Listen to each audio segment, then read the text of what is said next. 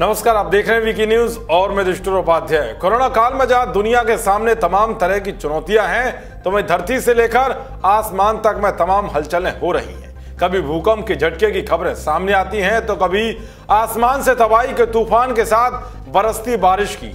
एक तरफ़ धरती अनियमित तरीके से रोज़ाना डोल रही है तो वहीं आसमान में अनेक रहस्यमयी खगोलीय घटनाएँ हो रही हैं। इसी बीच राजस्थान से शुक्रवार को ऐसी घटना सामने आई, जिसने लोगों को अचरज में डाल दिया। जी हाँ जालोर ज़िले के सांचोर कस्बे में एक उल्का पिंड गिरने से सनसनी फैल गई। उल्का पिंड को देखने के लिए बड़ी संख्या में लोग उमड़ पड़े।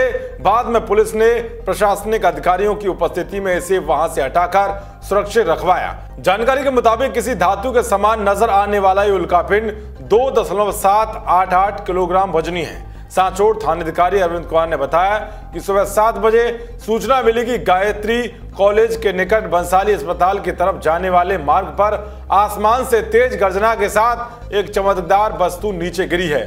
इस पर वे मौके पर पहुँचे। वहाँ काले रंग की धातु का एक टुकड़ा ज़मीन में धसा हुआ नज़र आया।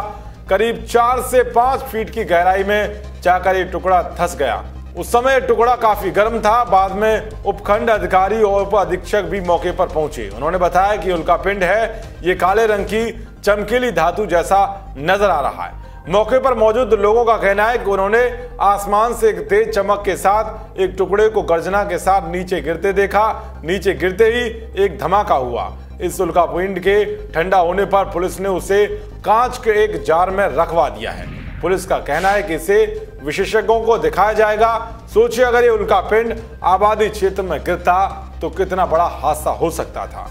दरअसल, आकाश में कभी कभी एक ओर से दूसरी ओर अत्यंत वेग से जाते हुए या पृथ्वी पर गिरते हुए जो पिंड दिखाई देते हैं, उन्हें उल्का और साधारण बोलचाल में टूटते हुए तारे कहते हैं। उल्काओं का जो अंश वायुमंडल में चलने से बचकर पृथ्वी तक पहुँचता है, उसे उल्का पिंड कहते हैं। हर रोज रात्रि को उल्का अनगिनत संख्या में देखी जा सकती हैं, लेकिन में से पृथ्वी पर गिरने वाले पिंडों की संख्या बहुत कम होती है। वैज्ञानिक दृष्टि से इनका महत्व बहुत अधिक होता है, क्योंकि ये अति दुर्लभ होते हैं। इस खबर पर आपकी ख्याल है कमेंट बॉक्स ज़रूर बताएँ।